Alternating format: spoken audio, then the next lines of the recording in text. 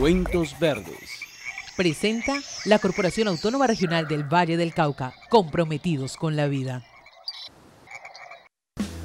Las cámaras trampas son las herramientas de tecnología automática que permiten capturar las imágenes de animales que con frecuencia evitan al ser humano y que no alteran ni el medio natural ni el comportamiento de la fauna. Las cámaras trampa eh, que nosotros estamos usando tienen dos funciones.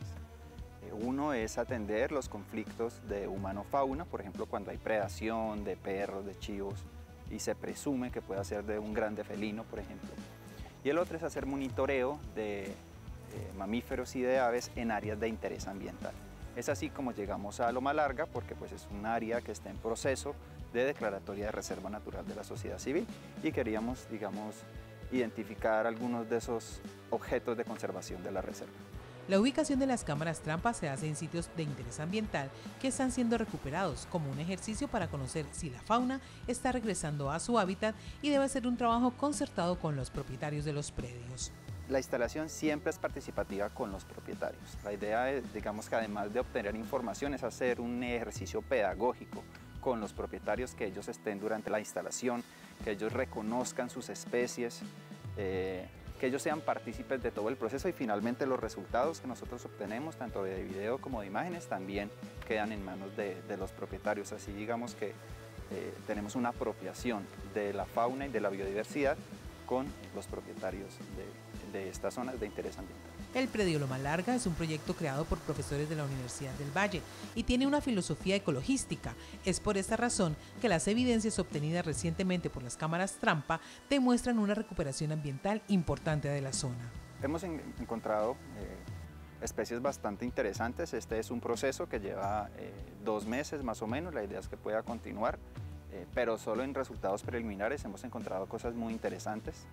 Hemos encontrado guaguas, por ejemplo, que es un roedor de un tamaño grande, guatines, una población muy importante, hemos encontrado chuchas, armadillos, tairas, hemos encontrado también eh, aves camineras de bosque como chorolas, eh, aves como palomas, por ejemplo, camineras que también son, se encuentran en el sotobosque del bosque.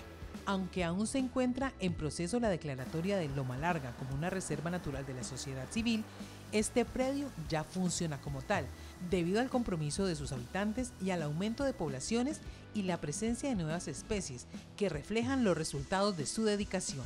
Digamos que los cambios que uno ve en las estructuras de las comunidades de aves y mamíferos reflejan el estado de conservación que se, ha tenido. Una de las puntos claves que debe tener una declaratoria de reserva natural de la sociedad civil es definir sus objetos de conservación. La declaratoria de reserva de la sociedad civil Loma Larga es un proceso que lleva muchos años, que los propietarios desde su interés y desde su autonomía eh, de proteger sus territorios llevan ya una red social tejida desde hace tiempo, entonces esto llega más como a complementar este esfuerzo de conservación. Los esfuerzos de los procesos de conservación y protección de nuestros recursos naturales siempre dan buenos resultados y herramientas tecnológicas como las cámaras trampa nos permiten conocerlos y nos impulsan a continuar en el camino ambientalista de respeto por la naturaleza. En la región andina se esperan cielos parcialmente cubiertos con predominio de las condiciones secas durante el día.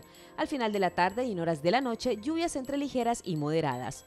En la región pacífica se esperan cielos parcialmente cubiertos con lluvias ligeras durante el día y diferente intensidad en horas de la noche. Estas probablemente estén acompañadas de tormentas eléctricas. Para Cali se espera predominio del tiempo seco durante el día, en horas de la noche lluvias ligeras aisladas. Temperatura máxima 30 grados, mínima 19 grados Celsius. Los niveles del río Cauca permanecieron estables en los puntos del monitoreo de la CBC en el departamento, excepto en Navarro y Puerto Mayarino, que presentaron una tendencia decreciente. Hidroclimatología de la CBC que usted puede consultar en www.cbc.gov.co.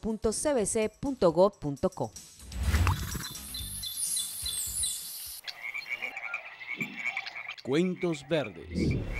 Presentó la Corporación Autónoma Regional del Valle del Cauca, comprometidos con la vida.